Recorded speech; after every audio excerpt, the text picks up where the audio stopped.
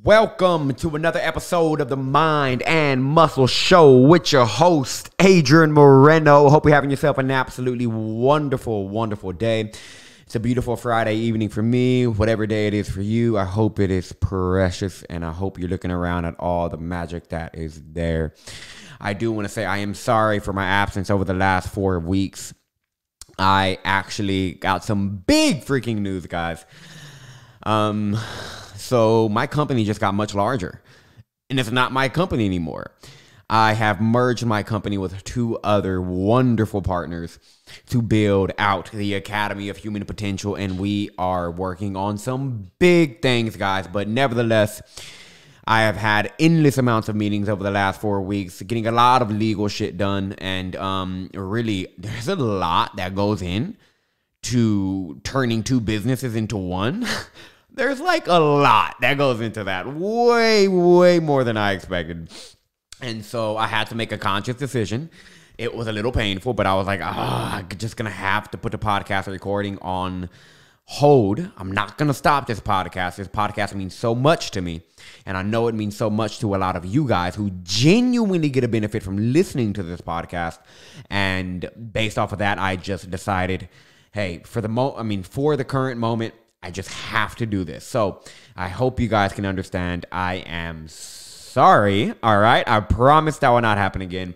But thank you guys so very much for sticking around and still listening. I promise I'm going to make it up with you with this amazing freaking interview I have to bring to you. Oh my God. Do I have a treat for you today.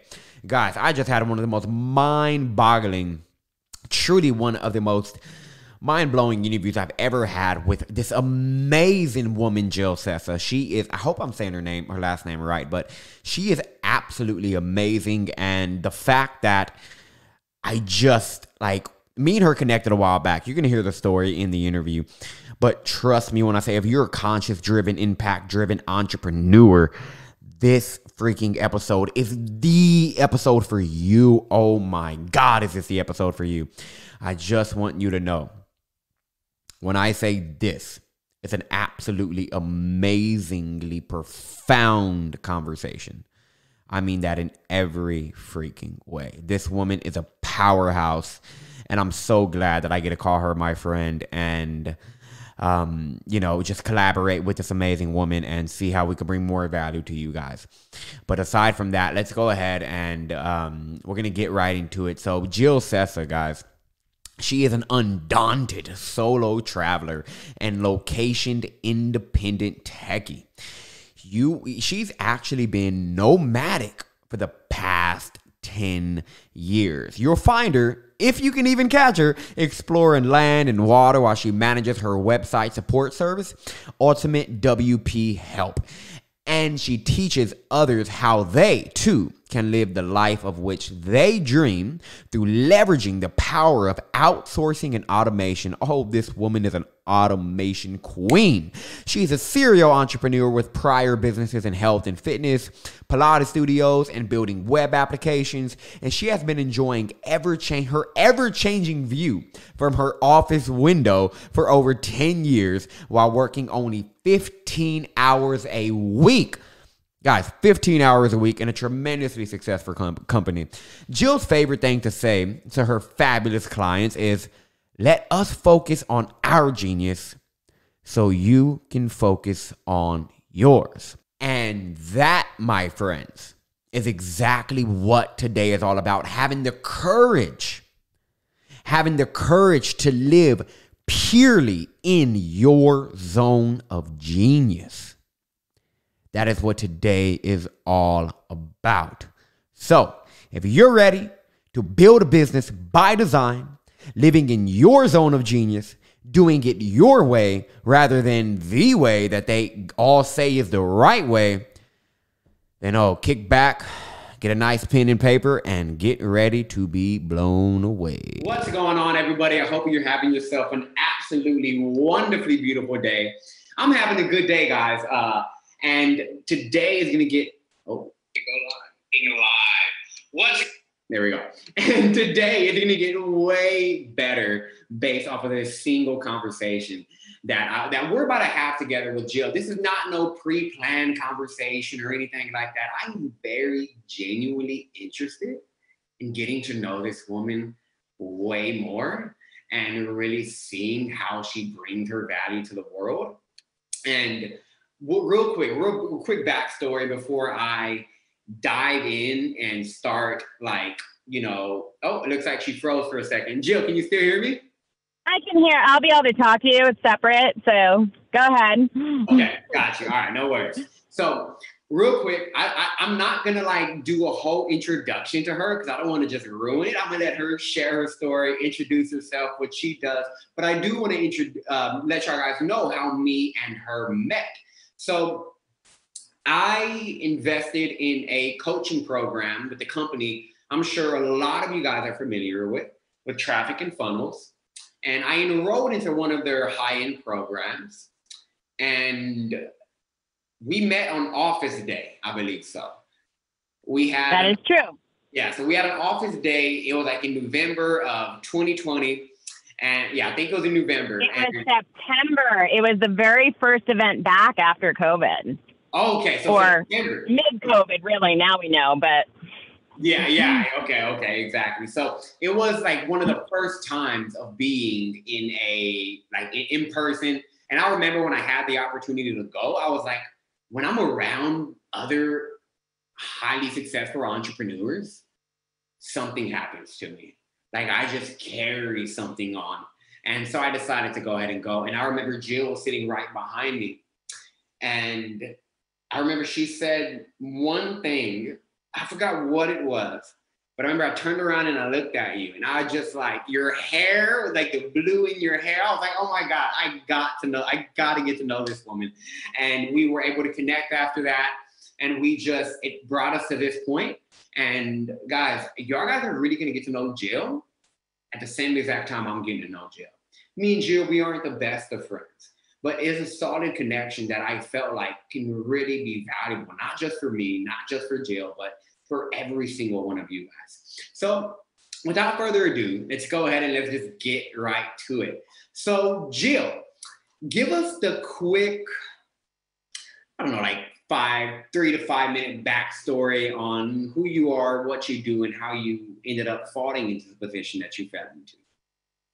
For sure. So first thing that I'm going to say is that I am a full time nomad and I am currently on the edge of the world at Badlands National Park. And so that is why my uh, internet is causing the video to go in and out. So I'm actually talking to you guys through my phone. You might occasionally see my photo pop up on the uh, Zoom when it connects, but right now it's currently disconnected. So I have been living as a nomad for 10 years. Adrian, how long have you been alive? just over 10 years. just over 10 years. Yeah. I, I, real quick, because there may be some people who don't know what it, I know what a nomad is, but some people don't. What is a nomad? Sure. So, can you guys see my video now? Yes. Okay. So, this is part of being a nomad. This is a view, and it's funny because I'm actually wearing the same necklace, but this was my view uh, 13 days ago in Soho um, I belong to a travel club that gives me access to thousands of very, very amazing properties in the world. Oh. And it was new moon. So I travel with that entire collection. That's just my flight travel collection of crystals, jewelry, supportive like items in my life. And they were laid out on the balcony of my hotel room for new moon because this is a really important new moon. So that's not where I am right now. Where are you right now? so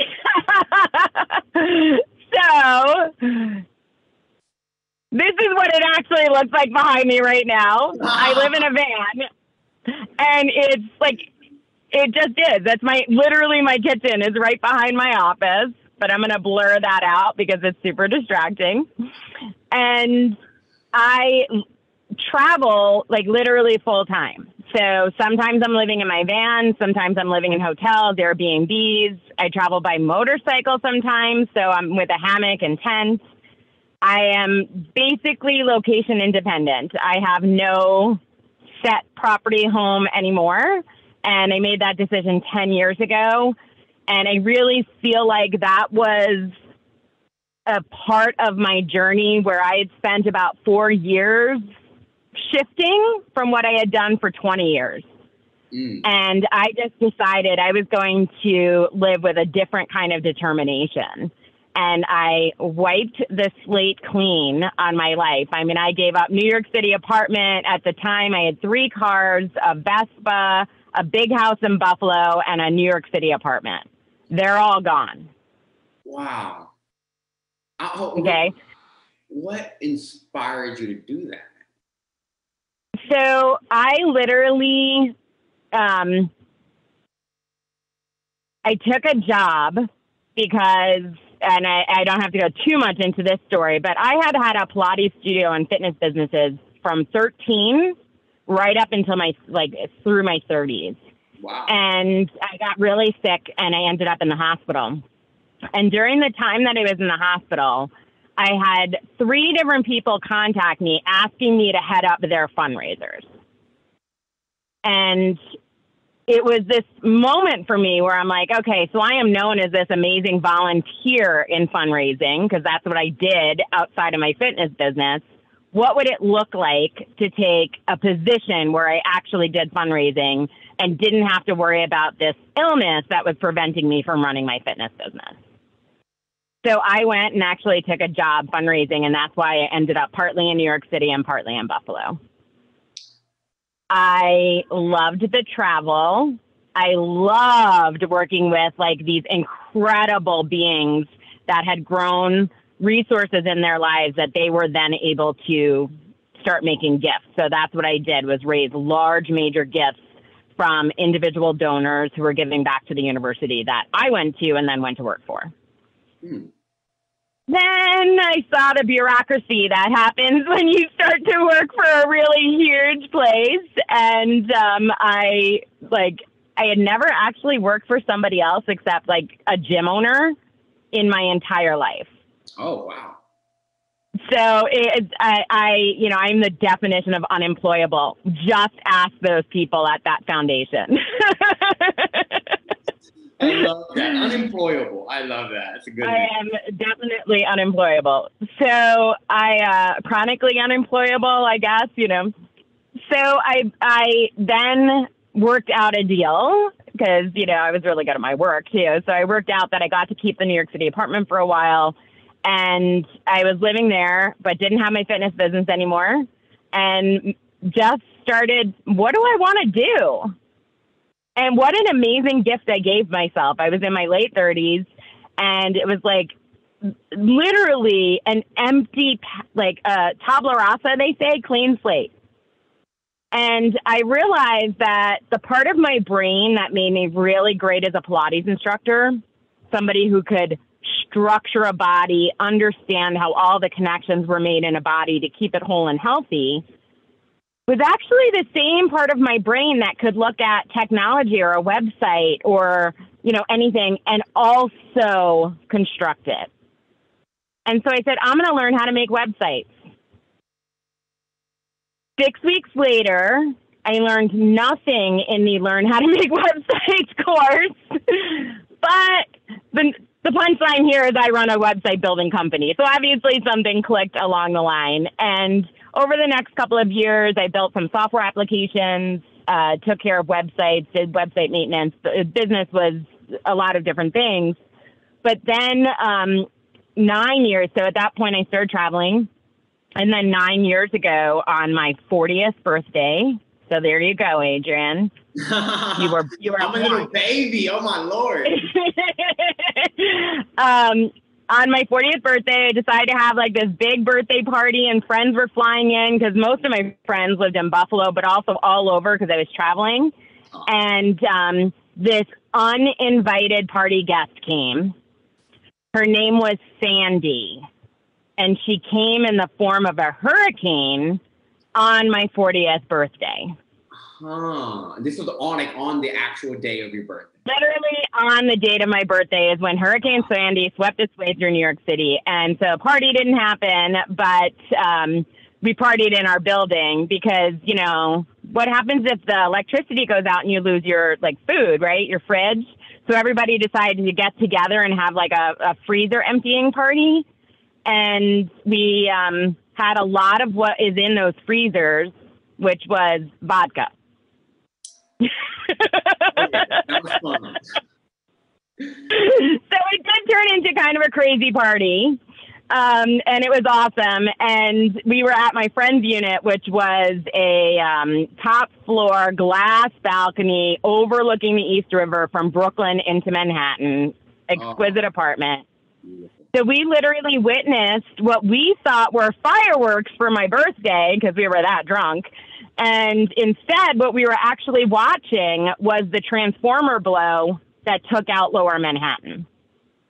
Wow. We weren't affected. We never lost lights, power, nothing. And we literally watched like half of Manhattan get taken out. The next day, and this is kind of where my shifts that had been happening in my life came together in like one conversation. One of the guys that I was like hanging out with that day just knew him because he was in my building. Mhm. Ordered takeout every hour on the hour just to see if it would get delivered. We were in the middle of a hurricane. And in that, it was like, it was like this to me that in one moment, I was like, I don't want to be around the type of people that will risk somebody else's life for a mm-hmm. gag. Because what they were basically saying in that moment, in those actions, was I have so much privilege, and somebody else will try to come here just to get a couple of bucks. Hmm. Huh. There's, we didn't need food delivered every hour, right? It was just this real moment for me that it was like, I don't want to be a part of this. I had spent a lot of time around people who were climbers. You know, they were doing everything in order to, I don't mean physical climbers, I mean social climbers. And they were doing everything to get somewhere, but at the expense of other people. And I realized I had grown a life of a lot of prosperity without ever stepping on somebody else. And that's what I wanted to be able to continue. I also realized I was growing a life that didn't require me to be in a building. It didn't require me to be in one place. And so I was like, what would it look like if this was different? And somebody offered me their um, condo in Myrtle Beach, like for a while.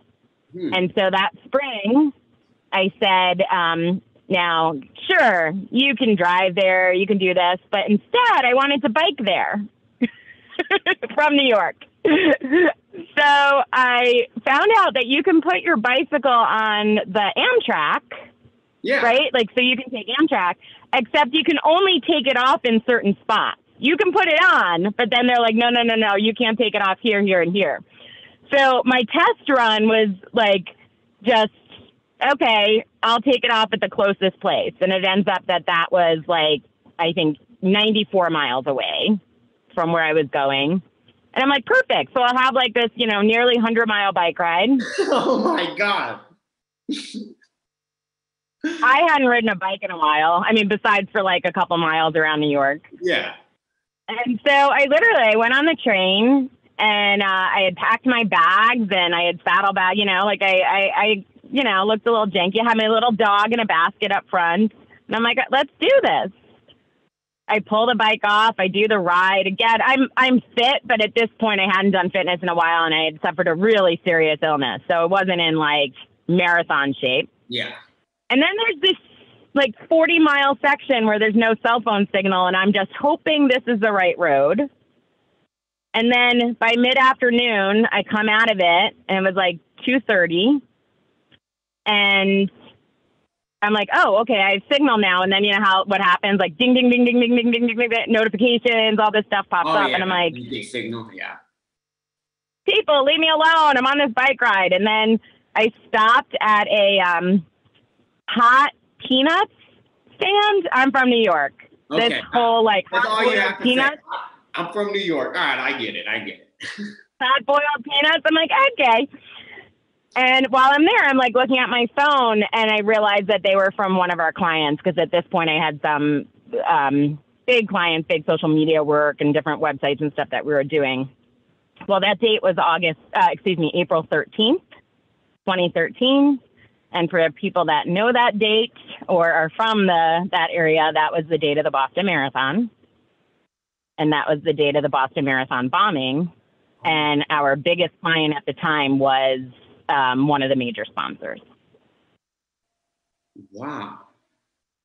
So my two weeks there looked a little different than I thought they would. I was about to say, like, that's crazy. Like, on specific days, such big things happened for you. hmm And so I did. I ended. Up. I finished. I got to the condo. I started. You know, it's basically, is everybody okay? Is everybody safe? And what I loved about this company is what they said to me is, we need to do something big that nobody needs to know about. What a difference between the guy that was like, I'm going to show off how prosperous I am. I don't think that's actually prosperity. I think that that's a whole different thing that that mindset Oh, that yeah. guy had. Oh, yeah. I'm going to show off how privileged I am. To this company who said, This is what we want to do. Can you help us make it happen? And nobody is going to know that we're the ones behind it. So even though we were all on, like, you know, right? People died, people got injured, massive, massive event. You're following, trying to figure out where these guys are. I mean, I've, yeah, I, you probably are too young to have spent any time around, you know, but there was a lot of like eyes glued to that. I remember Anderson Cooper being on CNN uh, on a loop in my condo and worked a ton. There was no 15 hour work week then. That was 15 hour days to get this project in place. And it's something I'm still very proud of to this day. But notice I still don't mention it because they still don't mention it. Oh, okay. Interesting. Okay. It's it's a huge thing. It's made a huge impact in people's lives that came out of that event. And it was like this real turning point to me that I could work anywhere. I had literally like packed a laptop into a bike bag, got on a train, rode the bike, and landed in somebody's condo. I had nothing. Yet I still did something pretty monumental. I had amazing views. There was waterfront in Myrtle Beach, Yeah, no and I was doing something that mattered, right? Like I was helping a mission propel forward because I had technical skills. And I've not looked back since. I got back to New York City um, after a whole nother adventure. That's you'll have to wait for the book on that one. Got back to New York City and I said to my business partner, "What happens if I ride a? Um, I think I'm going to ride my Vespa this summer." And he said, "You ride your Vespa every day. I don't understand." And I said, "No, I think I'm just going to like take off." And so that July 4th, I literally, or July 1st, I, I packed up the Vespa and rode cross country. I uh, negotiated buying a friend's van, like, you know, like, and then um, ended up, I got evicted from my apartment, and I've never been so happy to get an eviction notice. And it all just like, it all worked out, right? Yeah, and so I, supporting you on the way there.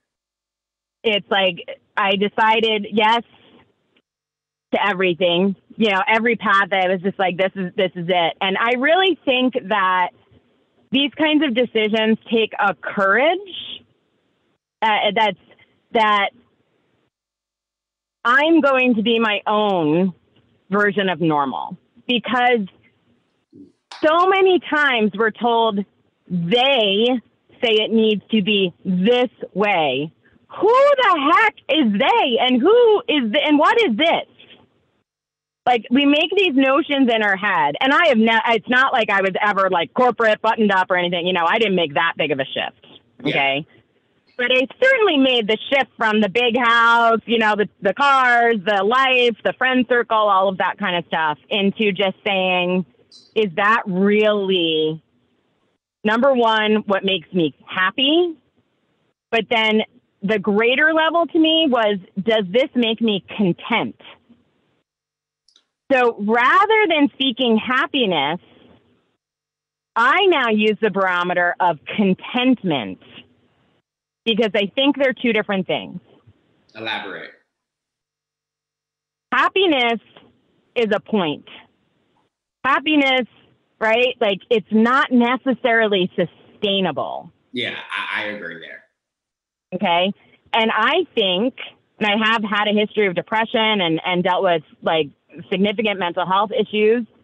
And making this shift was a big support for me because you're always going for this like bar that you're always trying to jump up to when you're seeking happiness all the time. But when you seek contentment, sometimes even sitting with your depression and understanding it's just part of your journey, you can still be content. Sometimes sitting with a difficult decision and knowing you have the capability to decide is still contentment. That's not happiness. Huh.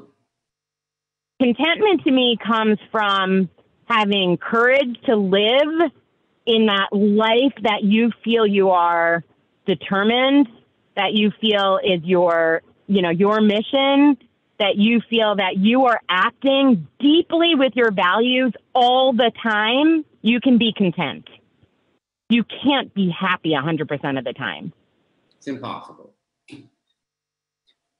Wow.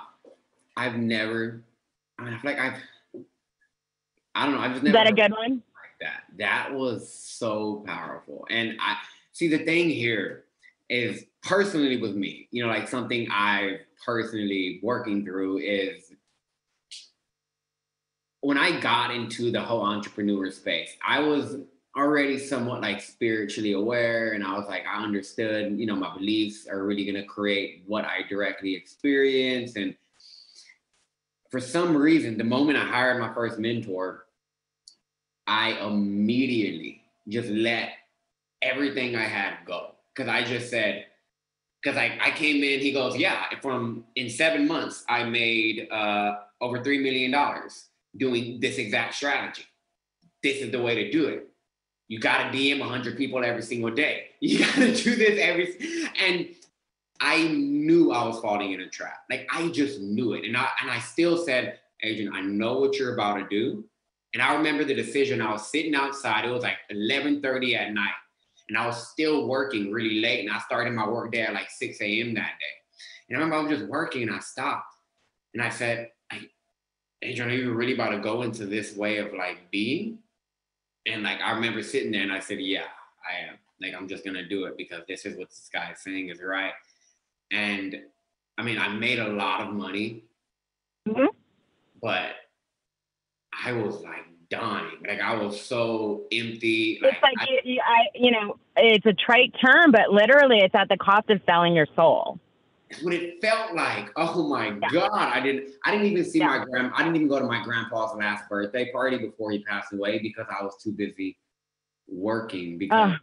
because Mark Cuban said, I mean not Mark Cuban. Uh, he said something similar to 80 hour weeks, but Elon Musk said 100 hour. You have to work 100 hour weeks if you want to increase your odds of success. And I knew that was his reality, and I made it mine.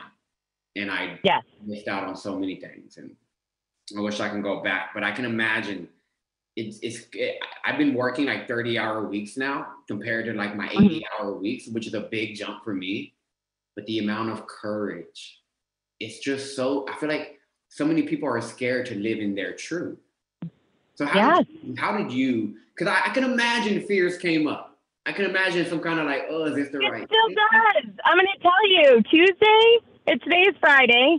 On Tuesday, I had fear that would have filled the van about something. It still comes up. How do you how do you For just how do you continue to do what the hell you do? I literally have turned my life over to connecting into internally and by that it allows me to connect to greater purpose to energies it's almost it's like almost indescribable unless you're doing it. But like for me, I got my you know so a Tuesday. How did I get myself out of that place? Two things. I made a call to somebody that supports me. Mhm. I made a call and said I need help. That takes courage. Yes, that does. okay? Because in this particular case, this is somebody who relies on me for her business. Um, So now I'm letting her know I could potentially screw up her business. I'm not in a good spot, but yet I knew she was the person that was going to kick me into that next thing. Like, just like kind of sometimes it, a kick is the wrong word, it's a nudge yeah, yeah. that we need to like be redirected. And then I decided I like I'm holding this because my Nirvana quartz is like who I talk to when I am alone. I So this is okay, so this is like it might not come across well on the camera, but this is one of the most special crystal beings I've ever witnessed in my life. And in Nirvana quartz in particular helps you connect to your highest purpose.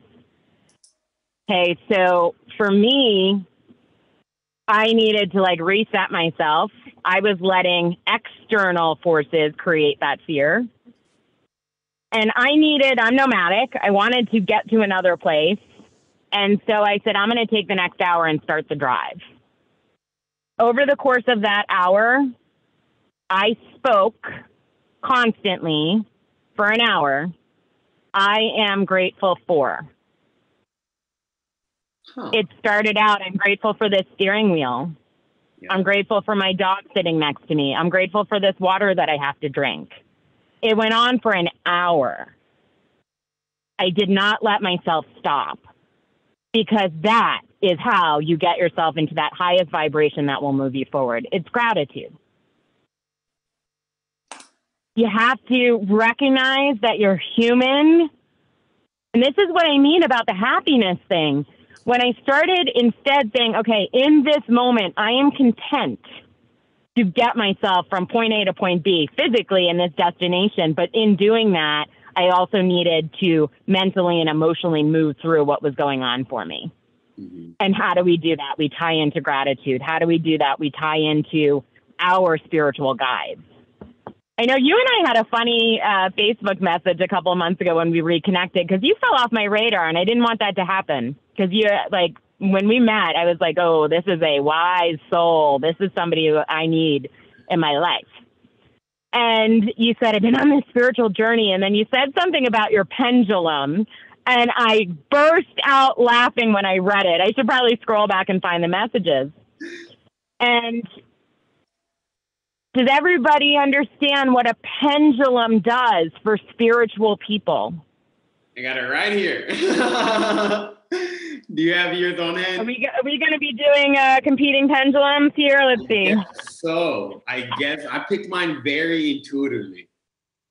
Oh, I love it. Yeah, pendulum. This has been such a game changer for me though. And So what is you know what a pendulum does is affirms your deepest inner knowing. Yes, yes, you couldn't have said it any better than that.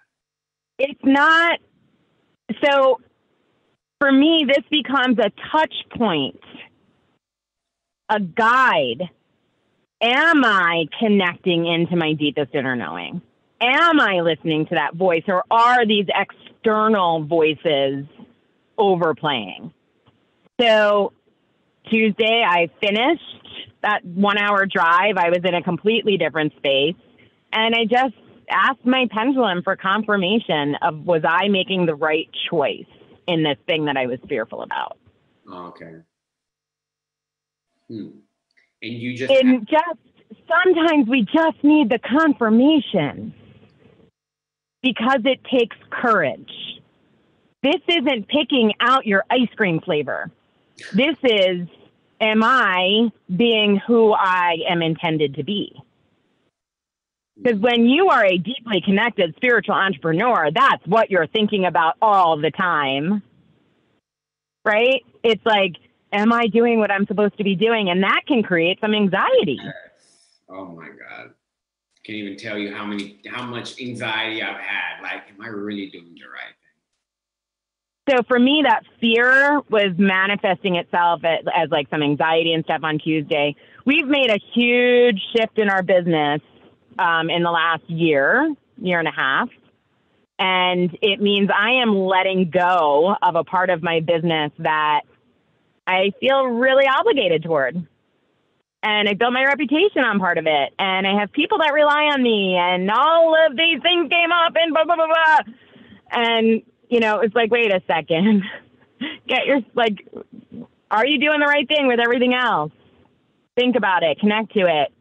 So that, like, within an hour and a half, I was a different human. Was I happy? Not at that moment. I was content though. I was grateful. I knew I was on the right spot. And so these kinds of tools are just an, a way for us to bring to a physical level that really deeply spiritual guided type of work that's already in us. Mm-hmm. We already have it. And if you if you don't think you have it, you start to find guides. For me, I find crystal beings. I, I collect some magnificent crystals. Um, huh. Is that going to show in my weird? I can okay. see or, yeah. Oracle cards. Sacred Rebel Guidebook. This is such a fantastic one for for I think you know spiritually guided entrepreneurs what they call guidance for living a unique and authentic life. That's my goal. So what? So you'll love. No, go ahead. You'll love the card I picked right before we got on because I always p- pick a card. Uh huh. And what was it? Power of attraction. Huh? Can you read it out? I'm going to read part of it. They're pretty long. Okay. Yeah. Yeah. Sure. But I'm going to just read a couple sentences because I think that this is really fun based on the topic that we are talking about. Okay. There is such wonder awaiting you. There are so many beautiful adventures and so much magic yet to be. Can you keep your heart open to what is coming towards you without surrendering your experience of this moment by becoming too future oriented? There is magic in this moment too.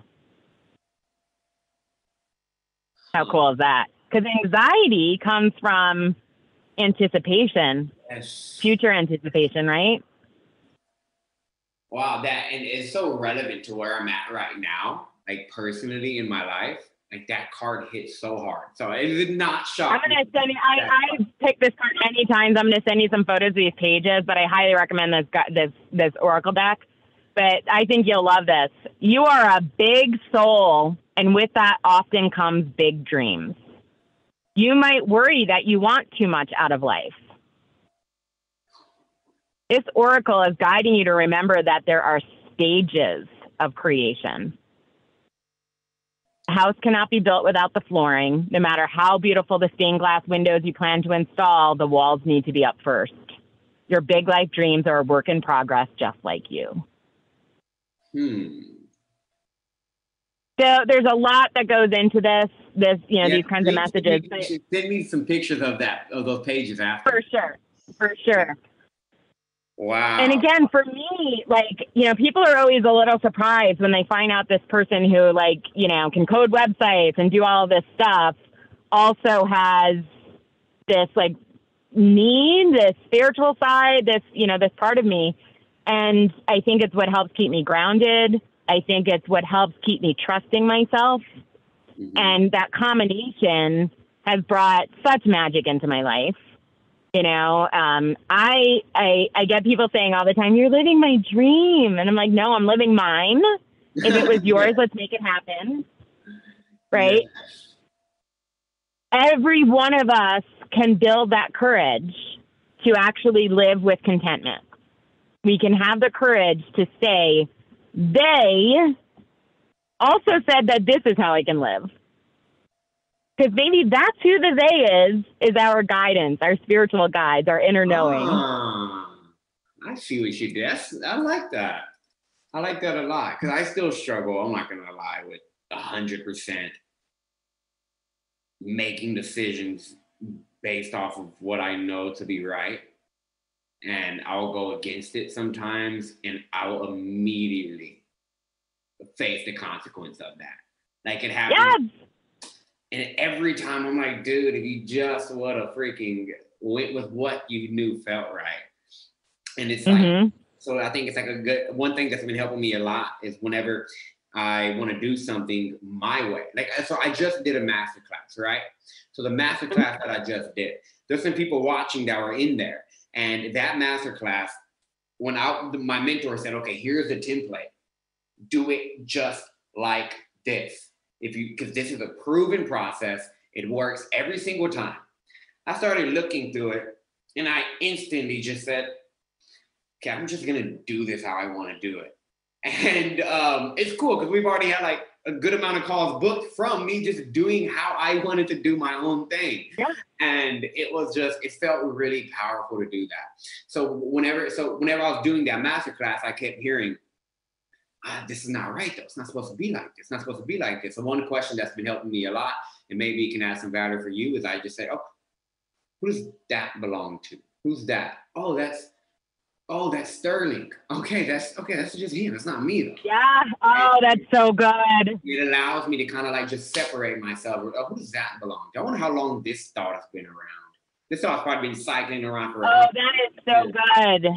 I want to share with you some other work I've been doing. There, um, please. there's please. uh, the guy that owns the crystal store in Nashville is one of like uh, around that type of work, and he has um, a simple technique called calling your power back or call my power back to me. Mhm. And he talks a lot about giving the power back to the other, like. Somebody, you know, is trying to take some of your power, like separating that out. They get what's theirs, you get what's yours, you know. And so that recognition of like, is that my belief? Is that my feeling? Is that my experience? Or am I playing out somebody else's story? Mm, yes. It happens a lot, right? Yes. And that's where worry and anxiety come in. Yeah, so so much of the time, and I can hear my family's voice and all the things I do. My mom, oh my God, Adrian, you're ridiculous. You're crazy investing that amount of money, or you're crazy putting all of this on the line, and and it can really drive me to do something that feels so just so damn off for me. Like one thing that almost ruined my reputation was sales should be your focus all day. Sales should be your only focus. Sales from and uh, from all of the entrepreneurs that I wanted that Yeah. kind of success. So I was like, you're right. So what I did was I was making more sales than you can possibly imagine, but my attention on what I really wanted to do, which is really be with my clients and really help them get through things, that disappeared. And when that disappeared, I lost almost everything. I had my reputation getting tore apart. And I was like, that's just not who I am. Why am I Mhm. acting like this person? I was that guy on the phone, like buy or die mentality, because that's what I was told was right. And oh my, I almost, I climbed an entire mountain. And I remember one day when I realized it was the wrong one, was I went to my mom's house I opened up a I opened up one of the drawers at my mom's house and I saw my old phone there. From where I used to live there, it was just buried. And I was like, oh, my old phone. Of course, I'm curious. I want to turn it on, go through the photos and all that. I turned on the phone, I went through my photos, I went through my text messages. And the very first text at the top was my grandma Gloria, who's passed away now. And so I look at it and I, you know, my finger just hovering over it. I was like, ah, let me just, I just want to read our conversation and I went through it and I scrolled, you know how it has like the dates of the messages. So I scrolled Yeah. about four months up and just scrolling, crying, reading everything. But the one thing that just drove me crazy and like this, I was just like, I can't believe this happened was in four months, there were six instances, six times. She texted me very randomly. Hey Mijo, you wanna go go have lunch? Hey Mijo, you wanna go you want to come watch a movie with me? Hey, Neil, you want to go to the library? Like just things like that. You want to go take me to Payless? Because she's like shopping at Payless. And I was like, and every time my response was just sorry, grandma, I'm working. hmm I was Sorry, too busy for you. I was working for mm-hmm. myself at the time. I could have easily got up and went. I had nobody telling me I had to be there. But every other mentor in my head was telling me I had to be doing these things. And that's the grind. I, that's when I realized, dude, I just caught, I just climbed an entire mountain that had nothing to do with me. And that is when I really hmm. snapped and I really started. That's whenever I started putting my spiritual side out in my business, like full force. I was like, okay, this is who the fuck I am. I'm gonna put this out there and started doing things my of course I'm still kind of getting through a couple of things that you know kind of doing business my way. So let me ask you this. If there was a business owner if there was a spiritual or uh, yeah, an entrepreneur who they're spiritual, but they're not really expressive of that side in their business. They're just doing, they're just running a business for the sake of accumulating the money or, you know, helping people in a surface level way. And they're, but genuinely, internally, they feel extremely off. They feel extremely out of alignment. What advice or what would you tell them? What would you, what would you give them to there of. is literally no better and no simpler practice than moving meditation. And by that, I mean taking an activity. For me, it's paddling, could be mm-hmm. walking, but something that you can do on a regular basis that allows you that you don't have to be thinking it. So I don't advise walking in busy city streets when you do this, but literally doing something that connects you in with nature, but gives you time and space for a lot of people sitting down and doing a seated meditation when they're in that kind of difficult spot, it's a little hard to live with ourselves.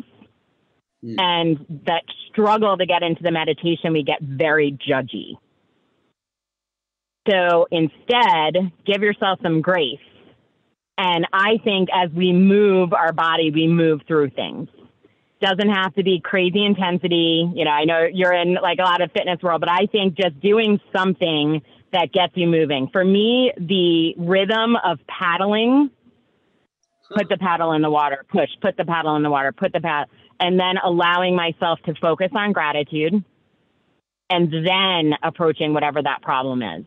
Getting that into a practice is huge. And you've got to kind of start there. You've got to start with a practice that connects you into yourself so that you don't have fear about listening to that intuition, that you really hear that voice, you start to understand it. So, in other words, completely. I myself, for the last year, so I've done it. You know, I've been doing this a long time. You guys now know my age, right? And I'm about to hit the the half century. Um, I myself put myself through an ayahuasca spiritual journey of the last year and I think I can say that in this group. Okay. Oh my god! Yeah, you, um, can. Oh my god! I cannot okay. wait to do it. By the way, uh, we got to talk. So I actually, um, I was I was supposed to actually be at one tonight, but then I had my COVID shot and had uh, I just oh. had COVID recently and I had COVID shot and got sick again, and so I decided no. But what that enabled me to do was I don't drink 12 cups of ceremony or anything like that. It, um, it allowed me to really deeply connect into a space, but also this voice. I have a spot on the top of my head where I hear a voice all the time, but it was like mumbling. Okay. Like there wasn't a lot of clarity. And what was very interesting is that doing, doing ayahuasca, and I think that you can do this through coaching with a spiritual healer. Like, you know, there's a lot of ways that you can do this. For me, this was like a really quick way to do it. Mm-hmm. I needed to get either get this voice out of my head or start to hear that voice. And instead, I started to hear that voice, and it's been a magnificent guide for me. Um, and again, in bringing courage, but also, I actually listened to it, and I know it's my voice, but it's actually it's it's a great great great great great grandmother's voice. So that means it's somebody pre technology, which is what you know, such a huge part of my life right? So it's like it's a deeper connected knowing. And then the other, so I, I can go on and on, and anybody is feel, can feel free to contact me about what that journey has been like because I think for somebody that might even be considering that, I'd be happy to talk them through it. Mm-hmm. And by the way, somebody said me, somebody said half century is amazing. Okay, just so you know. Oh, thank you, thank you. I, I do want to start expressing it in terms of century because this is just a funny aside I had a client years ago. It was her it was her 50th birthday, and she said to me, "I said, oh, happy 21st," and she said, "No, no, no. I tell people I'm 60. That way they can be like, damn, girl. oh, I love that. I love that. Great, and I just thought, like, isn't that awesome? Because, like, if you tell people you're younger than you are, they're going to be like, huh? So I'm 48. I'm not quite a century, but I'm so close. I turn 49 uh-huh. shortly. anyway, um, so I was, uh, what was I saying just before that? Oh, so ayahuasca. But the, um, the spiritual connectedness, every time you tell somebody that you get an inkling, right? Like the fact that you said to me about your pendulum in a message was because you were like, Jill mentioned a couple things like on a Facebook post or something, and this is where I'm at. You're like, I'm gonna out myself. I'm gonna like let her know that I'm a spiritual entrepreneur too. Okay. It's like so funny. Yeah, we're coming out. Oh my god. Right? Like I'm coming out. So I really think that if we actually just say to our clients or to somebody, hey, this is what I'm going through, or like, oh, I can't meet with you this weekend because I have an ayahuasca ceremony, instead of hiding it, it's like a totally separate and distinct part of yourself. That integration you will magnetically pull more and more people that are also on a spiritual path that you can either lead them a little bit or you can follow their leadership a little bit and you can move forward. But if you hide it, what are you going to do? You're going to start following those other shiny objects, the people that are not living a life in alignment with how you want to be, who are not acting in alignment with your values because like you're you're only showing that shiny object seeking part of yourself.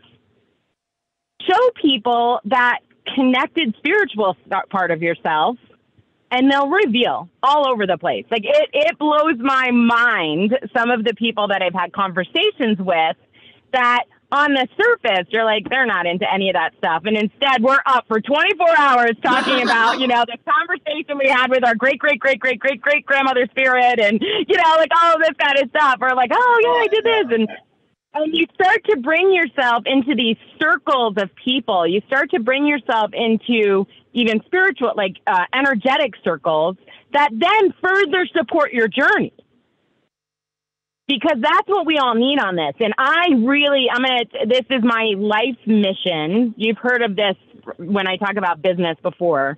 But I think if every single one of us spends most of our time at the intersection of what we're great at and what lights us up, that intersection is the secret to the world if everybody had the courage to spend their time there and let other people spend their time at their intersection, because it's different for everyone, yeah. all roles would get filled. You will literally magically pull all of your needs into you because you are living at that space. It is so high vibe.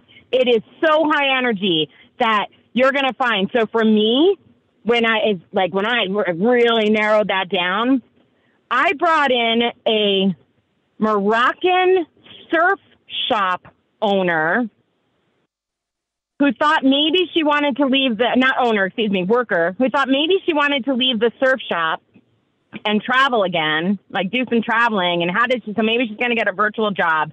And she asked me for nine dollars an hour because she was making eight dollars an hour working at the surf shop. Huh. She's now my head of operations. Wow. Let's just say she does not make nine dollars an hour. I can imagine. She does everything in my business that was a bottleneck for me before because I was trying to do things that were I was not great at and they certainly didn't light me up. So she is a person will actually tell you she loves spreadsheets. We have a client, by the way. Her tagline is spreadsheet. We have a client whose tagline is spreadsheets are my love language. And I always say that that's the proof that there is somebody out there that their intersection is so different from yours that they will add to your life. Oh my God. Okay, so now it, that makes me so happy that there are people who love spreadsheets because I don't. and guess what? Here's the coolest thing. When you bring them into your life, when you employ them, you hire them, you know, you say, I need help with this, you are giving them the chance to live at that intersection. Oh, that's a good way to look at it. You're giving them the gift of being inside their genius, being inside what lights them up, which again, high vibe.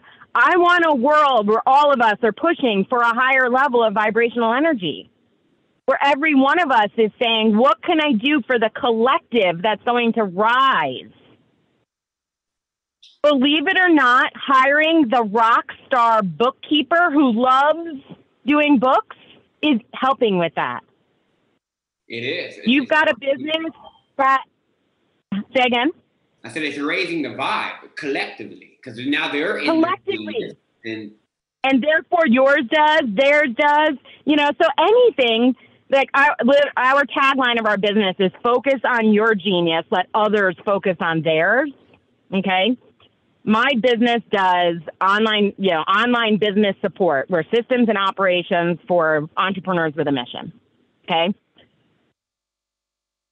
That's because many of these entrepreneurs with a mission don't want to see the back end of a website. so by letting us, you know, like letting us do that for them, it frees up their time and energy to be who they need to be in the world. Mm. Magic happens. It's incredible when people decide to let that stuff go and not be, you know, again, another, it's another tagline of ours, but it's like chief everything officer. You're running a business and thinking you have to run the entire business. Mm, yes. Okay. Real quick. Do you have like five more minutes? I do. For you, absolutely. Oh, I love you. Um, I do have to get going soon, but I, there's a question that that all of this is brought up for me now. Like I'm, this is like a selfish question for myself. Definitely, I feel and this is like could be this is my limited thinking. I know it's like the thinking that's limited, but I feel like I can't only work in my zone of genius when I start my business, or I feel like I'm I, I'm not at the level where I can only work in my zone of genius, and I have to wear all of the hats. Is that like a is that my rule that I'm making up, or uh, well, okay? So what do you say to people? I'm sorry, my neck hurts from the nodding I'm doing right now people limit that based on finances. They limit it based on, um, I'm going to curse right now. You okay with that? Please do. Fuck yeah. They think, okay, this guy, because I can't say this without it. Don't think that you are so fucking special that somebody else can't do 80% of what you do. Okay? Like that's the thing. It's like we think we're the only ones that can do it that way. This is all about me. This is my reputation. This is who I am. I'm the one that they want. When we started giving my head of ops, her name is Frankie, to our clients, mm-hmm. the message is I, I have an entire fi- file of, oh my God, thank you for letting me meet with Frankie today. Thank you for letting me Think about that. Thank you for They think it's a gift. They think it's a gift, not a detriment. Huh. So I just need to make up another because rule. I cannot, as a human, be 100% of everything every uh, other human needs. Okay? In the business, there are business things. So there are people who focus on business, like, I mean, it's like the, the nuts and bolts. There are other people that focus on content, like all of these kinds of things. Sure, there are many successful businesses run by one person. I'm going to tell you that their niche is very narrow, yeah. which is also smart. Okay, that's smart.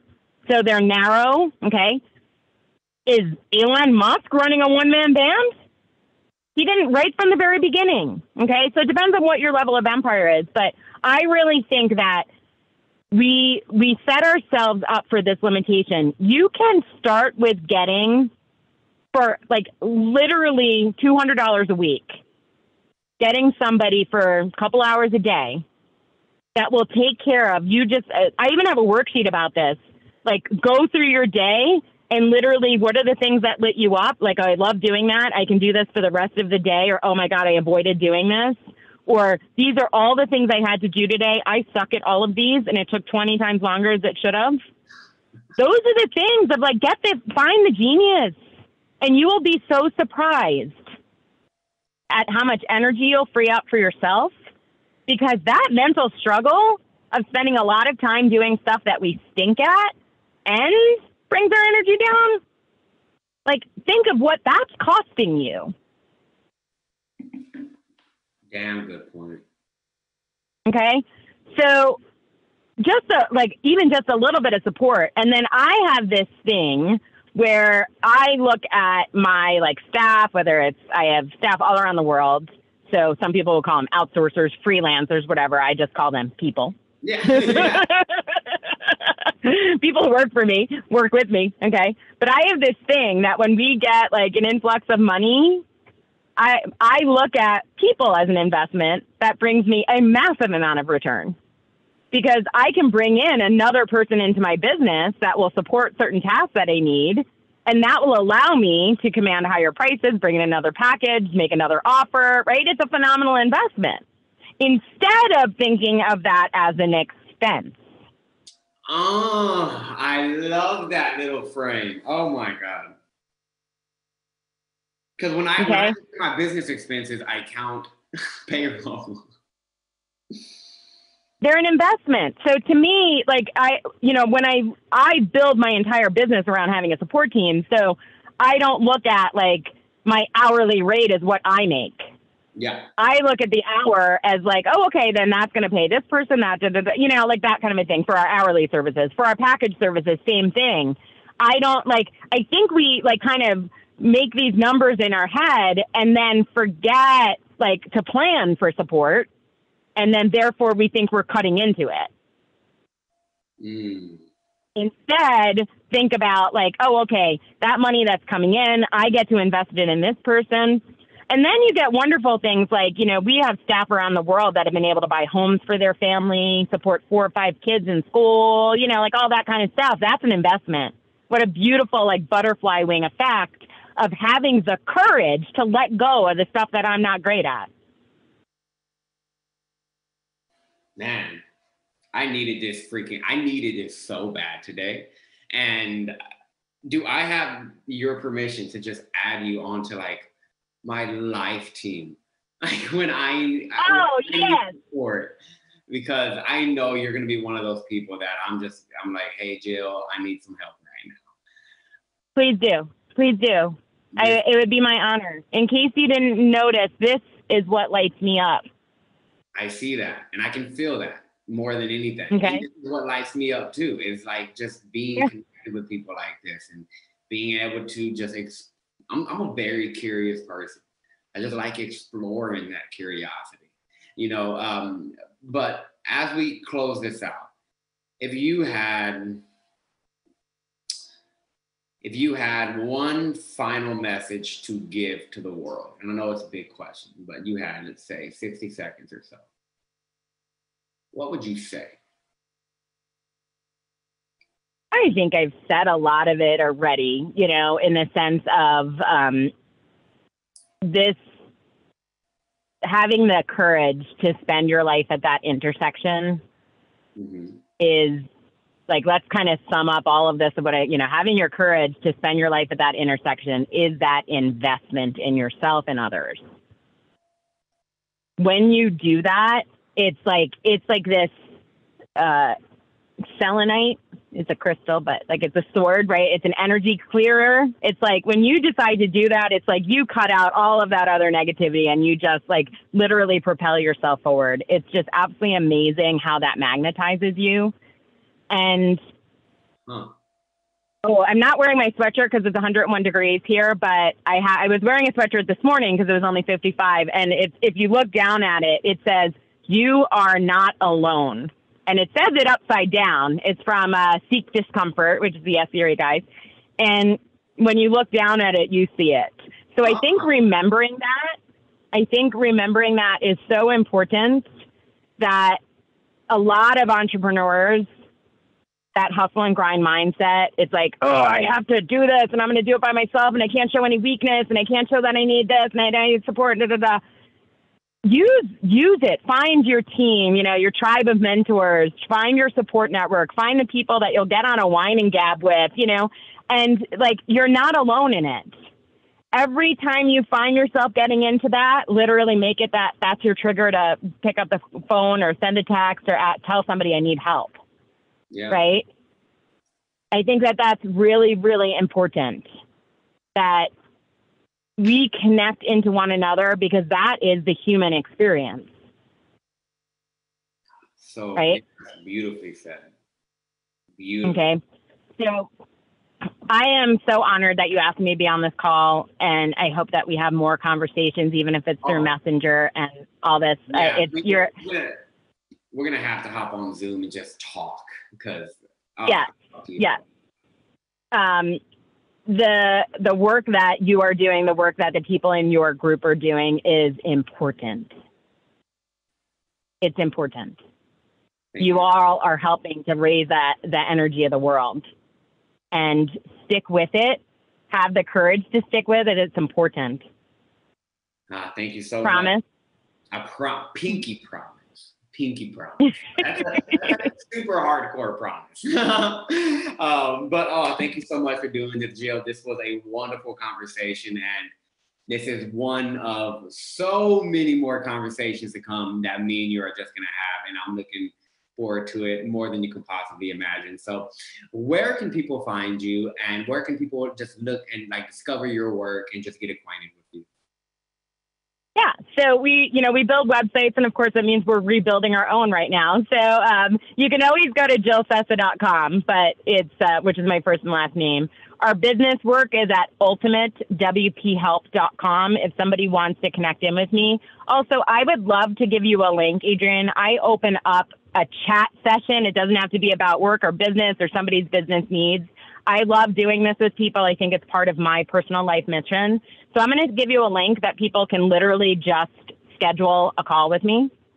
Okay. Oh yes, that'll be awesome. And I'm a um. Okay. You can post it in the group. I'll send that to you um, right after we're done, but you can post it in your group. Literally, and I like it's a no holds barred conversation. If you found something in this talk today that you're like, I would love to ask her more about that. I might take you on a walk with me. You know, I might say, hey, we're going to do that call. at the chat, and I'm going to be on a walk or a paddle, which is super fun. Um, but I I think it's important that we support one another. And if I said something or you know you're curious about something, please take me up on that. It's not a it's not a sales call, a pitch, nothing. I literally it's called Chat with Jill. The link is like Chat with Jill. I love that. Okay. so that is beautiful. So please, please, please take me up on it. Okay. Okay, I definitely will take you up on that. Thank you so much for all of that. I, I, I genuinely have so much love for you. I'm so happy we met, and Likewise. I'm happy I sent you that. For, I, I'm happy I sent you that friend request. I think I was the one who sent it, so I'm really happy I did, and I'm happy I saw you that day. So, um, yeah. So aside from that, thank you so much for this, and I'll talk to you soon. Awesome. Thanks, Adrian. Bye. I mean, guys, what the heck? Wasn't that freaking amazing? Right? So, look, if you want to be able to get on these interviews live and be able to ask questions and be very engaged with us, then you want to tune in to the most useful Facebook group for true impact driven entrepreneurs that you're likely missing out on. Let me guess, are you thinking of hiring another life, health, or business coach? If so, then I suggest you take a look at this group. Because did you know that there is a powerful state of consciousness that, if used in the right way, can make you the most consistent, productive, and effective you've ever been? Sounds woo woo, but it's actually true. It's been known for about 200 plus years, but no entrepreneurs have ever really thought to use it. And it is the single easiest and fastest way to eliminate destructive patterns that keep showing up in your life. And right now, I'm literally bringing this method to your attention. And if you choose to miss out on this, then the entrepreneurs who don't will be ahead of you. And I don't just mean financially, although that happens too, but in terms of happiness and fulfillment. Because it's the fastest way to grow the impact of your business. It's the easiest way to get in the best shape of your life. It's the easiest way to gain clarity and expand your mental bandwidth. And it's the easiest way to create the habits that you want by eliminating destructive ones. And we teach you how to use this powerful method inside of our Facebook group for free. This is the same exact system that me and dozens upon dozens upon dozens of other entrepreneurs have used to gain mental clarity, vibrant energy, motivation, consistency, and a sense of deep purpose, eliminating bad habits, and so much more.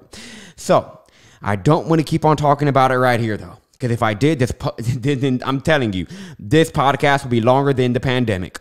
Plus, if you've been listening this far and if you've gone this far, I think you've proven enough to you and to me that this simple yet effective method is perfect for you.